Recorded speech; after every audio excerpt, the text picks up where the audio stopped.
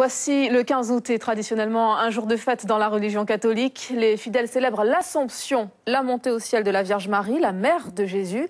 Comme chaque année, une procession a été organisée dans l'après-midi au départ de la cathédrale Saint-Sauveur de Cayenne. Au, micro d'Éric Boutin, le père Patrice François nous explique l'historique de cette procession en France. Écoutez.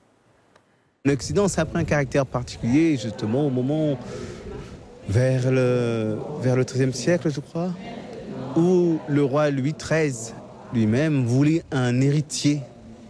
Et il a prié la Vierge Marie. Il a demandé à toutes les églises de France de faire une procession ce 15 août, en lien avec effectivement cette dédicace de, l'Église d'Occident, pour espérer un jour obtenir cet héritier. Et il s'avère qu'un an après, oui, il a obtenu cet héritier qui s'appelle Louis XIV.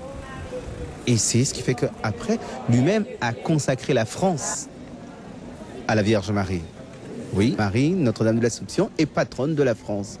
Si vous êtes rendu compte, c'est qu'aujourd'hui, normalement, toutes les églises de Guyane ont sonné à midi, parce que toutes les églises de France ont été appelées à faire sonner les cloches à midi, pour réveiller ce souvenir sûrement dans le cœur de chacun.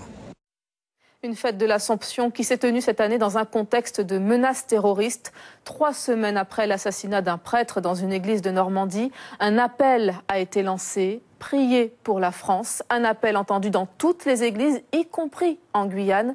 Illustration à Cayenne et à Rémière-Montjoly avec Marie-Claude Tébia et Claude Jani. La foi se lisait sur les visages des fidèles. Ils assistaient ce matin à la messe de l'Assomption. Une semaine commencée dans la paix, en hommage à la Vierge Marie. Les catholiques célébraient en effet l'Assomption, une fête mariale, symbolisant l'élévation de Marie au ciel après sa mort. Une fête marquée par l'actualité, car le mot d'ordre dans toutes les églises était de prier pour la France, traumatisée par une succession d'attentats.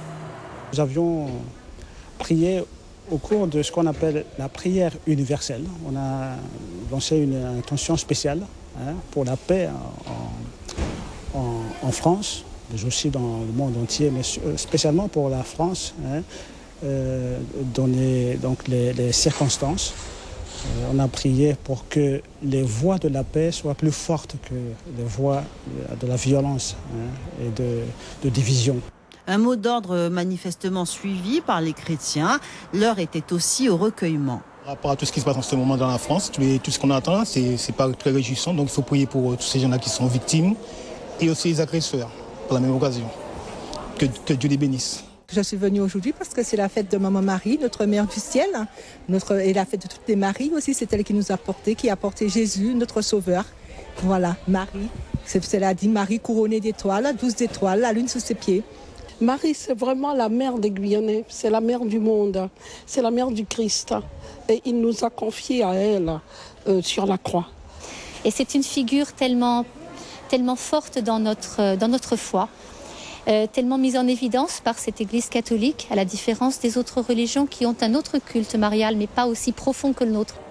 L'Ascension est célébrée depuis le 5e siècle chaque 15 août, un jour symbolique qui revêt une importance particulière en ces temps troublés ici et ailleurs.